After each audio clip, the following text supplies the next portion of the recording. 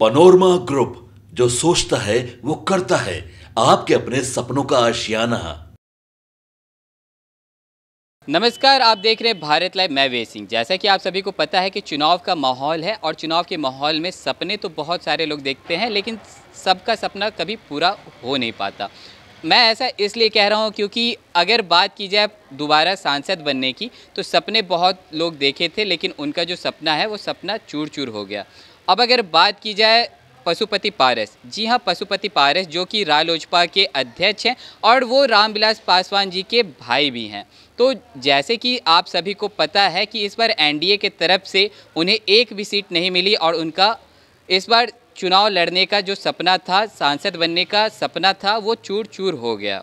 और कहीं ना कहीं अगर बात की जाए, वो पहली बार सांसद बने थे हाजीपुर सीट से लेकिन उनका जो वो अधिकार था, उनका जो वो सीट था हाजीपुर से, वो अब दोबारा इस बार वहाँ से खड़े नहीं हो पाएँगे। और अब अगर बात की जाए प्रिंस राज जी हाँ प्रिंस राज जो कि रामविलास पासवान के मतलब भतीजे हैं, वो पहली बार समस्तीपुर से सांसद बने थे, लेकिन इस बार जो है उनके खाते में भी समस्तीपुर नहीं आया।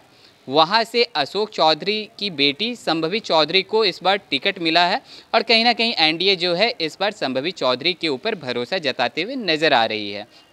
चलिए तो अब बात करते हैं गया सीट के लिए। जी हाँ गया सीट पहले जदयू के खाते में थी और वहाँ से आपके जो प्रत्याशी हैं, गया सीट से विजय मांझी। जी हाँ पहले तो विजय मांझी वहाँ से सांसद बने थे, लेकिन इस बार है कि वहाँ पे हिंदुस्तानी आवाम मोर्चा के खाते में गया सीट चली गई है और वहाँ से खुद जीतन राम मांझी। जी हाँ जीतन राम मांझी वहाँ से चुनाव लड़ते हुए नज़र आएँगे।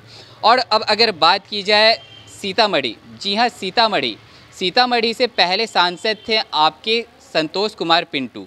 लेकिन इस बार उनके जगह पे कहीं ना कहीं चंद कहीं ना कहीं देवेश चंद्र ठाकुर को इस बार मौका दिया गया है और कहा गया है कि इस बार उनके कंधे पे एक बहुत बड़ी ज़िम्मेदारी वहाँ पे सौंपी गई है।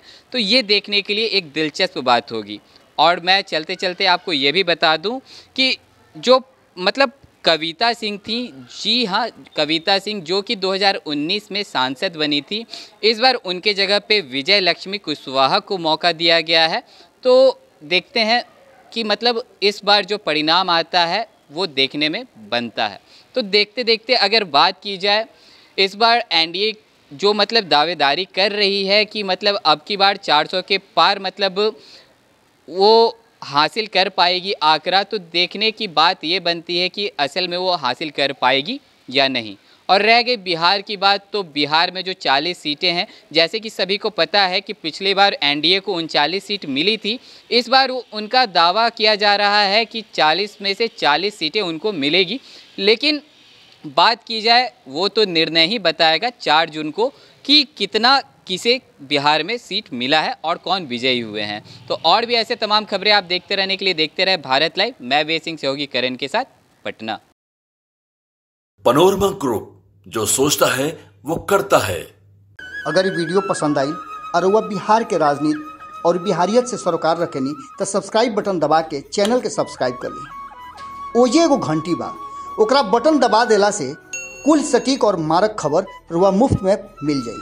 अगर रुआ पत्रकारिता के हमनी के नया प्रयोग में सहयोग कर चाहतनी तो ज्वाइन बटन दबा दी।